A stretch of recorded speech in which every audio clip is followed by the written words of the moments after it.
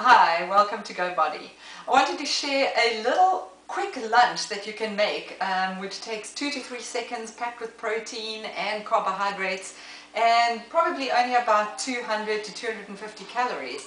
What I do when I'm in a hurry is I just take a handful of fresh spinach and actually just break an egg onto that spinach raw like that and then I just put in a little bit of tomato, some um, um, mushrooms and sprinkle a little cheese on the top. And then I add some little bit of salt which is actually no salt, um, pepper.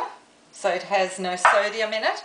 And then you just uh, prick that and put that into the microwave for um, a minute and a half. Once you're done with that you have this fabulous fabulous healthy meal which has your egg, your spinach and I've added half of a um, whole wheat wrap. And that's just a fantastic healthy meal 250 calories. And I actually learned that from a cute little short cousin in South Africa by the name of Renee.